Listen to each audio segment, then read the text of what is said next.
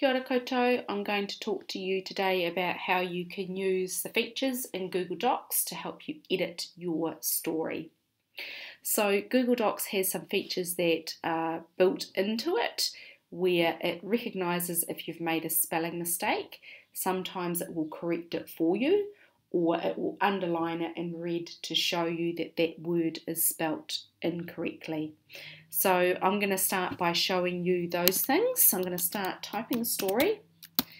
Now I've typed the word once incorrectly and I want you to watch what happens.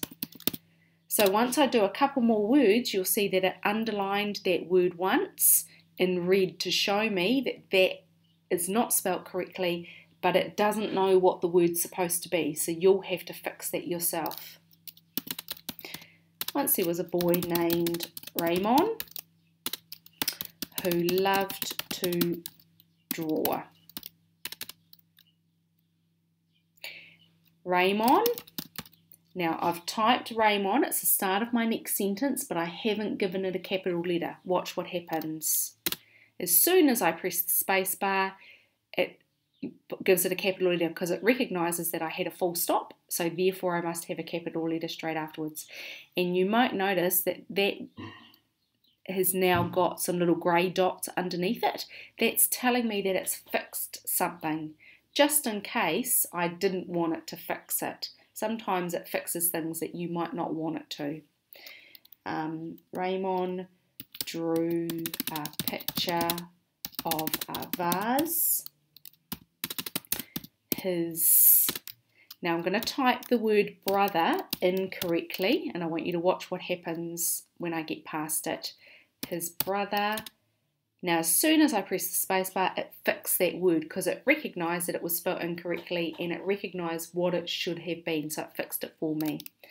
His brother laughed at him.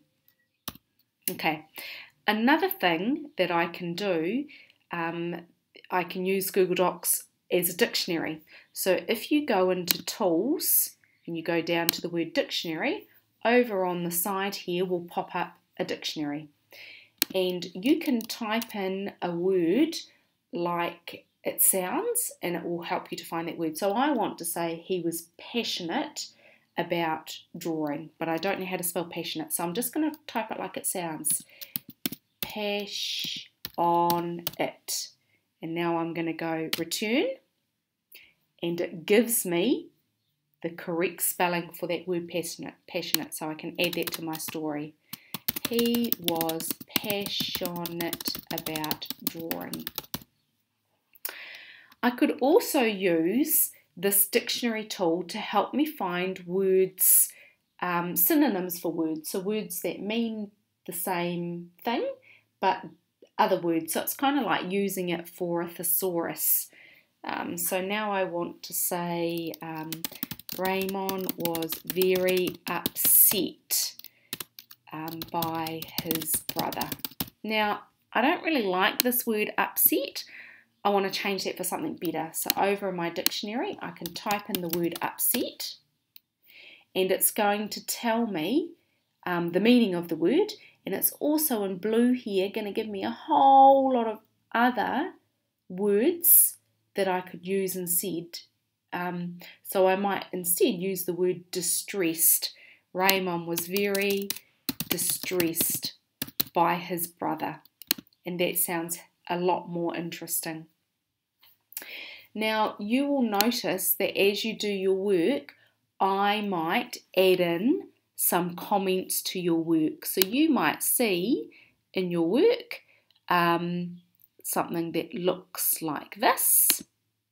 We're over at the side here, I'll just get rid of this dictionary. Over at the side here, I've added a comment. I love the word distressed that you have used here. And then it will be just like that. Now, I don't want you to click on the little side there and delete the comments. I want them to stay there because when you do your reports with your parents, I want them to be able to see the comments that I've made to your work.